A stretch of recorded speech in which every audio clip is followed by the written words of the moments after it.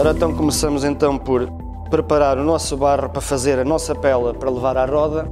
Nesta fase, o fundamental é tornar a massa o mais homogénea possível, sempre com o cuidado de não deixar ar dentro da massa, porque esse, esse ar depois vai ser prejudicial no, no resto do processo todo, sempre de forma a espiral para o ar estar a ser expelido e não ficar com ar nenhum dentro da pela.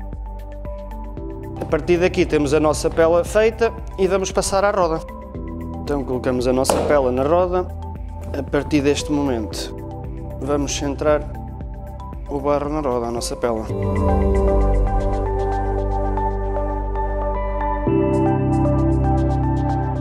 A partir do momento em que temos o barro centrado, vamos abrir o barro.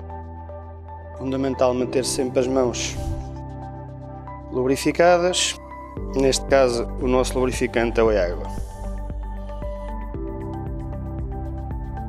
Temos então a nossa peça aberta. A próxima fase passa a ser levantar a parede da peça. Temos a peça subida, o cilindro feito, que é a base para 90, mais de 90% das peças feitas à roda. A partir deste momento é que vamos dar forma à peça. É um rim de madeira que eu vou utilizar para me dar mais sustentabilidade na peça e para me facilitar dar forma à peça.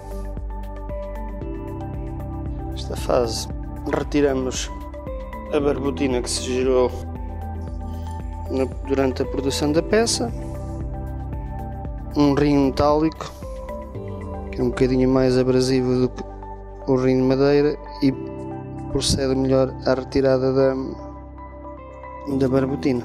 Barbotina é, é este barro que vai ficando mais líquido na superfície da peça conforme vamos trabalhando, que nós depois retiramos no final